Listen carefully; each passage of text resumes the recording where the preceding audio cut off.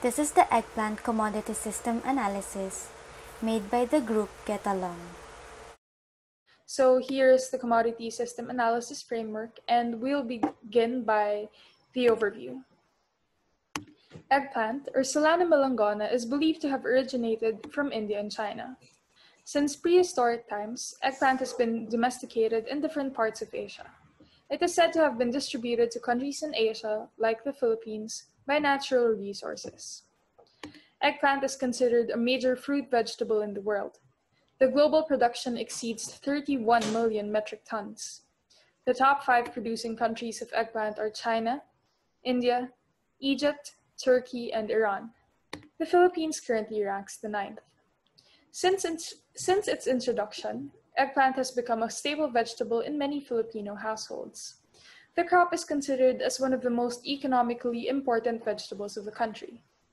Currently, with a total of 21,226 hectares, eggplant is considered the number one vegetable in the Philippines in terms of production area. The average yield is at 9.95 tons per hectare. Eggplant is planted in all 17 regions of the Philippines, with Ilocos, Pangasinan, Central Luzon, and the Southern Tagalog regions as the top producers. Eggplants are low in calories and fats and contain mostly water. This vegetable is said to be a good source of vitamins, fibers, and minerals. Because of this, it is used as an alternative medicine by Filipinos. Eggplants are believed to be helpful in treating illnesses such as ulcerations, diabetes, bronchitis, and several other diseases. In addition to its medical uses, this crop also aids in the addressing of food security. The current production volume of the Philippines can feed millions of people. Moreover, eggplant farming helps alleviate poverty. At present, there are about 40,000 eggplant farmers in the Philippines. For the input sector, the main inputs needed by the farmers to produce eggplants are mainly seeds, fertilizers, and agrochemicals. At present, there are 16 recognized developed seed varieties of eggplants. These seeds are supplied by five major suppliers, namely Pilipinas Kaneko, Allied Botanical, Keystone, Ramgo International Corporation, and East West Seed Company. Eggplants can be planted all year long. It thrives in sandy loam and clay loam soils with a pH value of 5.5 to 6.8. It needs only 35 to 40 millimeters of water weekly and has to maintain a temperature of 20 to 30 degrees during its growth. For the use of fertilizers, it is recommended to apply 125 to 150 kilograms of nitrogen, 100 to 250 kilograms of phosphorus, and 100 to 250 kilograms of potassium to a 1 hectare land. The eggplant fruit and shoot borer, known as the EFSB, is the pest that, at its worst, can lead to the 80% yield loss in production. Farmers use insecticides and pesticides to control these. However, these chemicals prove to be harmful to the farmers as well. Both fertilizers and agrochemicals are sourced from abroad. In total, the amount of money spent for inputs per hectare of land is 27,160 pesos. The farm sector. According to the data provided by the Philippine Statistics Authority, the total area planted for eggplant was 21,800 hectares. The volume reached at 249.9 thousand metric tons and it is valued at 6,254.4 million pesos. The latest report by the PSA regarding the crop statistics of the Philippines was from 2014 to 2018. Figure 1 shows the volume of eggplant production with an average rate of 2.1% growth annually. Data shows the year 2014 with 225,580 metric tons and continues to increase until 2018 with 244,840 metric tons. Due to the increasing number of farms devoted to eggplant production, the land area planted also expanded from 21,450 hectares in 2017 to 21,650,000 hectares in 2018 with an average annual growth rate of 0.6%. This graph portrays the different regions that were involved with eggplant production in 2018. The largest producer was the Ilocos region, which contributed to 38.1% or 93,190 metric tons. Around 22.6% of shares came from other regions, followed by Calabarzon, Central Luzon, Cagayan Valley, and Western Visayas. Annual farm gate prices per kilogram of eggplant from the year 1990 to 2019 is illustrated in Figure 3, and it can be observed how prices vary within those periods. The two varieties of eggplant indicated on the data are the long purple and the native round. The price of the long purple eggplants increased from 6 pesos per kilogram in 1990 and had its highest at 27 pesos in 2018. The data of the native round variety started in 2001 and it initially costs 10 pesos and had its peak in 2018 amounting to 34 pesos per kilogram. Let us proceed to the cultural management practices. There are a few steps to consider in land preparation to ensure successful eggplant production. The field must be plowed and harrowed for the removal of weeds. The selection of seeds to be planted is very influential in eggplant production. Thus, in selecting varieties, it has to be high yielding, resistant to insect pests and diseases, non seasonal, adapted to local climatic conditions, and acceptable to consumers. Seedlings are hardened and then the field is covered in mulch. Mulching is usually applied to control weeds, conserve soil moisture, prevent soil erosion, leaching of fertilizers, and reflects the sunlight, which in result repel insect pests hiding under the leaves. After this, the application of fertilizer on the field is important. The utilization of complete fertilizer, the 14-14-14, with equal amounts of nitrogen, potassium, and phosphorus provide a healthy environment and optimal and rapid growth for the eggplant. When the field is prepped and ready, the seedlings are now transplanted. During the growth stage, pest management such as the application of pesticides, insecticides, and the manual removal of pests are done. Regular hand weeding must be practiced to ensure that all the soil nutrients are absorbed by the crops and not by the weeds. It is recommended to harvest crops during daytime and must be handled gently to avoid being damaged. The harvested crops are then packed in sacks and shipped to nearby markets. Let us now proceed with the processing sector. The eggplant is considered a high value crop in the Philippines. According to the Global Sourcing Hub, TRIDGE, the Philippines ranks ninth in the top producing countries of eggplants worldwide. The global production share is 0.5% in 2018, which amounts to a production quantity of 244.84 thousand tons. Despite the prolific production performance of the Philippines, the country's limited capacity to transform fresh produce into value added products has brought the value of eggplants down on the global market. The country's export share of value added eggplants is equivalent to 0.0%. In the Philippines, eggplants are consumed as fresh produce rather than its processed form. For this reason, there are limited processed eggplant products in the market. The most common processed form of eggplant is the pickled eggplant, the acharang talong in Tagalog. A jar costs 100 to 150 pesos. Pate and antipasto are Italian appetizers that are also available here in the Philippines. This particular brand sells both at 257 pesos each. In the USA, a brand called Dominex produces meat-free, frozen processed products inspired by fast food dishes. Their eggplant line consists of eggplant cutlets, veggie fries, and veggie meatballs. Mediterranean countries have long incorporated eggplant in their cuisine. For this reason, they were able to formulate different value-added products for the market. This includes eggplant dips, spreads, jams, caviar, roasted eggplant, and creamy eggplant. In South Korea, a brand named Papa's Recipe recently launched a line of products made from eggplant extract which is specially formulated for people with sensitive skin.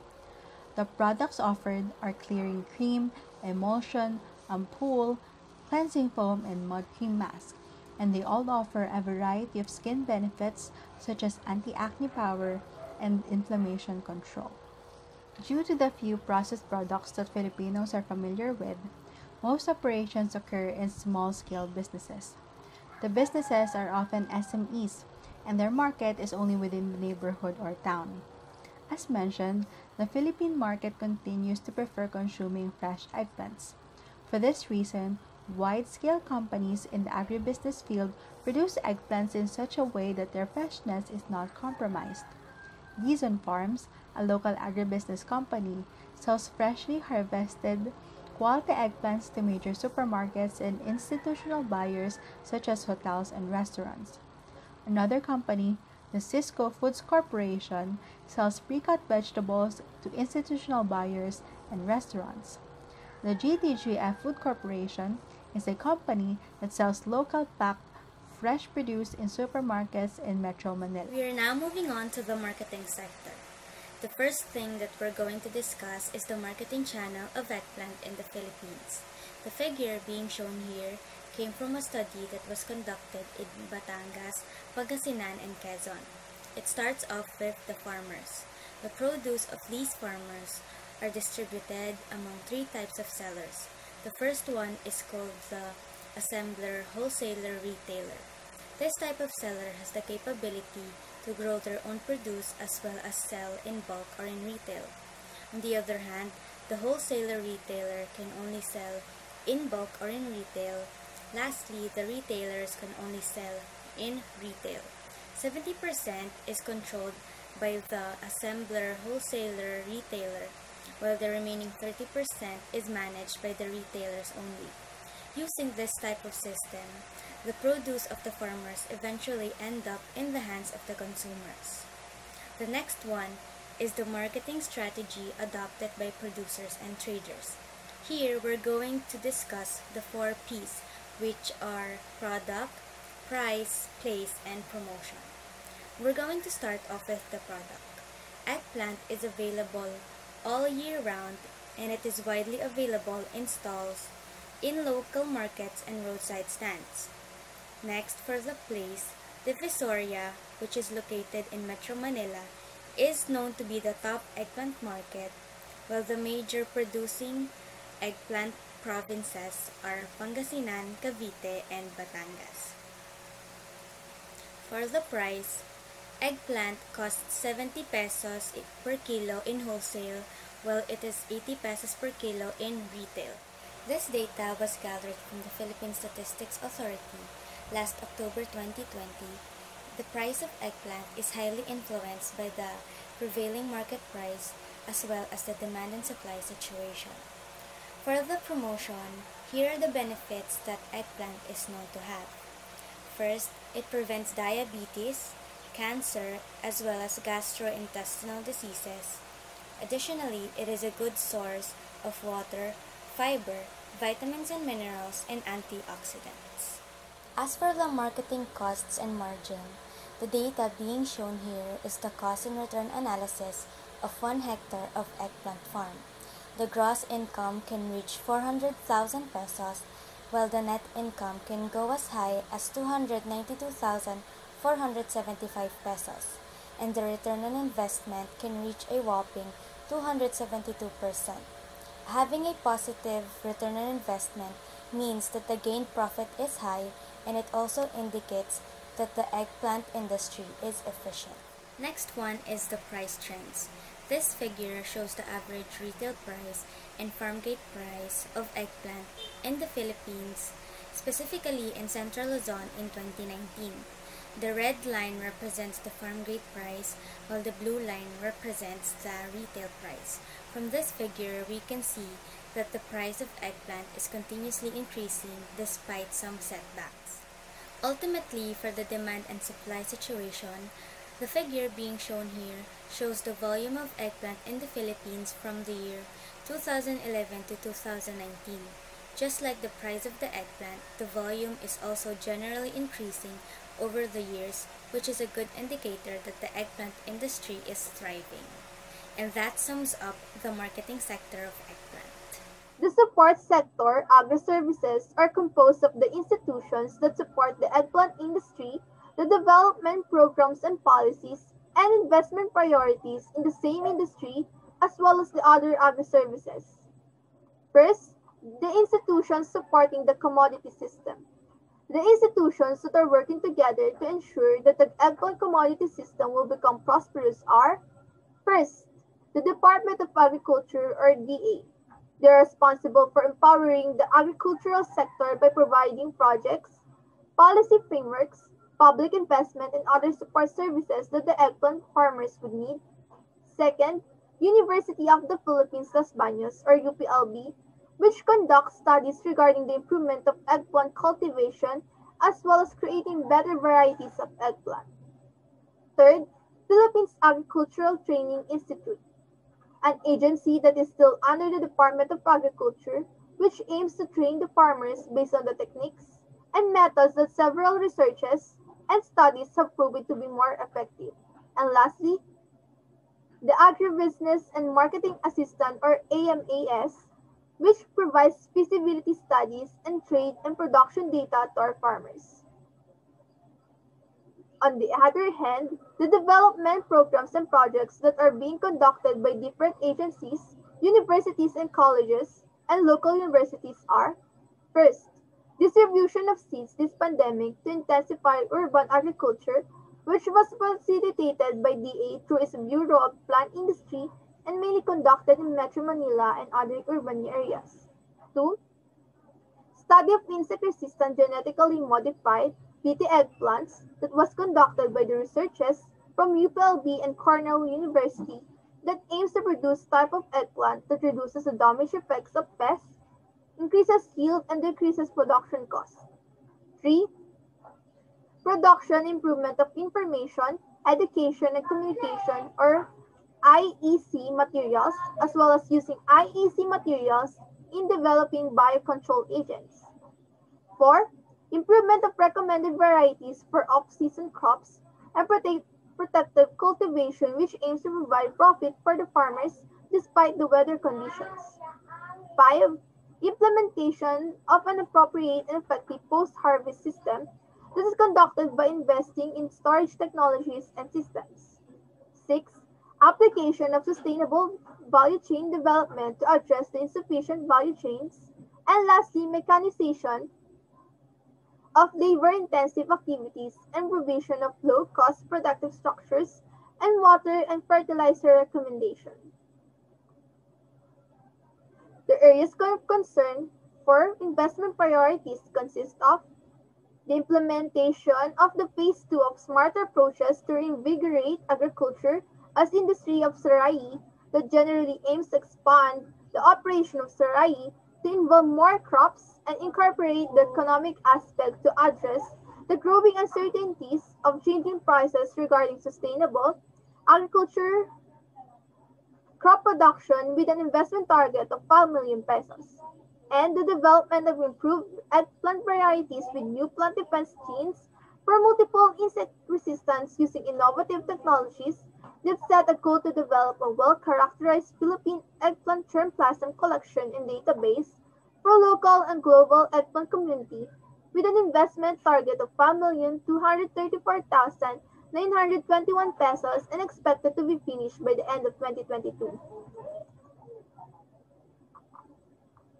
In other agri-services, the areas of concern are implementing new lending programs as well as conditional cash transfers and credit assistance to farmers stealing one half to two hectares of land and the high lending interest rates in financing institutions with an increase of 0.98% in 2019.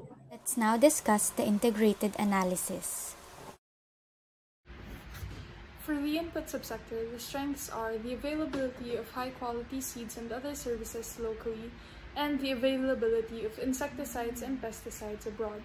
For the weaknesses, the effects of insecticides on farmers are harmful, and the contribution to the greenhouse gases are relatively high. For the opportunities, there is an increase in population that can lead to a demand in the inputs, and there is a, a uh, continuous development of new varieties. Let us now discuss the SWOT analysis for the farm sector. Manpower and the vast expanse of land area dedicated to eggplant production are the main strengths. These results to higher and globally competitive yield. Unfortunately, the susceptibility of eggplants to EFSB and the damage during harvesting decreases yield. There is high investment costs in this business and our farmers are not aware of the latest and best technologies and practices in farming. However, the consolidation of fragmented farmlands can lead to a higher crop yield once implemented. Events such as flooding and the recurring unstable peace and order in Mindanao pose threats in the production of eggplants in our country. Let's go over to the SWOT analysis of the processing sector. The processing sector provides jobs in MSMEs and it doesn't require further spending for the different actors along the supply chain. Unfortunately, there are limited wide-scale eggplant processing companies. This results to a few number of value-added products in the market. However, there is a wide array of opportunities in creating value-added products of eggplants. These can range from food products to even skincare. Next is the SWOT analysis for the marketing sector. Its strengths include eggplant being a staple vegetable in the Philippines and in Asia. Philippines is known as a major eggplant producer, an all-year-round production, and it can be sold in pinakbet bundles. On the contrary, for its weaknesses, inadequate packaging for produce, since most of our producers and farmers still rely on plastic as their packaging, which is bad for the environment and can also affect the quality of the eggplant after harvest. Next, financial constraint of farmers lead to inability to access cold chain facilities such as cold storage and reefer vans. Lastly, lack of entrepreneurial skills which include having poor organizational skills and lack of motivation. As for its threats, limited access to reliable market information, which means that our farmers cannot correctly price their produce, which may lead to exploitative situations, and other countries is also a threat since they are our competitors in the export industry. The Department of Agriculture, University of the Philippines Los Baños, and the Philippines Agricultural Training Institute are the institutions that supported the eggplant industry. In addition to that, the Agribusiness and Marketing Assistance also provides data to farmers. These institutions are strengths in the industry. Another strength is the continuous research and development conducted by these in institutions to increase efficiency of production. Moreover, the projects and investments that would benefit the industry is also a strength. An opportunity can be through partnerships with local government units and public schools in providing healthy and nutritious meals to their citizens and students. For the weaknesses, the vision for the eggplant industry is nearsighted. Unlike the Netherlands, the Philippines currently has no plan for a circular economy. And lastly, for the threats of the industry, the high lending interest rates of financial institutions are a concern.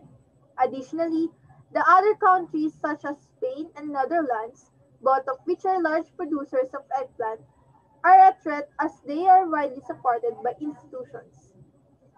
In conclusion, these are the following problems faced by the Philippine eggplant industry. Post-harvest handling and storage issues. Proper packaging and cold storage facilities are needed in the industry but due to the financial limitations of farmers, inadequate packaging, and poor road conditions in the country, the quality of produce gets affected, which further leads to losses. Pests as a major threat to the eggplant industry. Eggplant fruit and shoot borer is known to be the most destructive pest, therefore leading to the excessive use of pesticides. It causes negative impacts not only to the environment but to human health as well. Pesticides also add up to the total cost of production. Global competitiveness of Philippine exports. The country could still work on improving its exports, especially in terms of value-added goods. Due to the country's land area and volume of eggplant production, it can compete with its neighboring countries that offer processed eggplant goods. However, there are only a few eggplant processing companies and MSMEs in the country that are engaged in the industry. Technological advancements. The country is still lacking in terms of resources and technology for developments. Additionally, some players still lack the skills and knowledge to further work on improving the industry. For the recommendations, cooperative agreements between public and private sectors, The cooperation of both parties is essential in each sector for the development of concrete plans that are more efficient and feasible in the long run. Commercialization of BT eggplant. It would be a competitive advantage for the country once the BT eggplant is commercially released, as it is said to be highly profitable due to the reduction of pesticide use and increase in marketable yield. Development of eggplant processing industry. There are still ways to make eggplant production more cost effective by starting to create various value-added goods of eggplant. Since the Philippines produces high volume of eggplant, it has the capability to cater value-added goods once the processing industry has been developed. Focusing on this industry will create more opportunities for the country due to its potential in both local and international markets as one of the major producers of eggplant. Government support.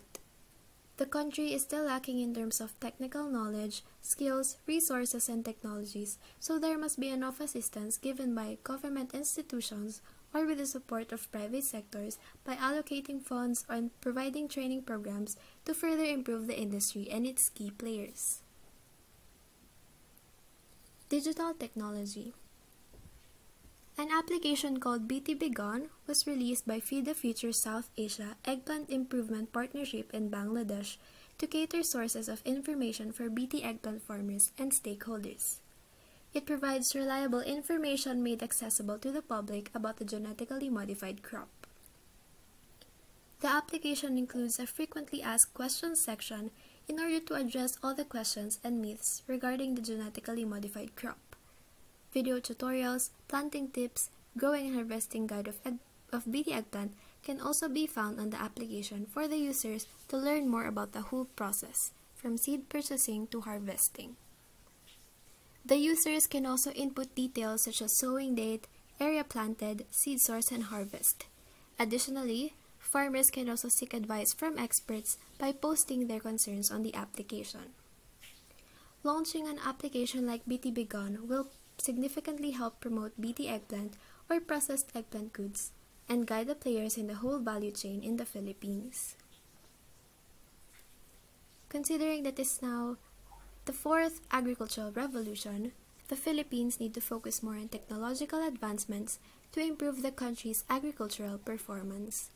The use of blockchain technology will open a great deal of opportunities and benefits for the eggplant industry since it promotes transparency and traceability.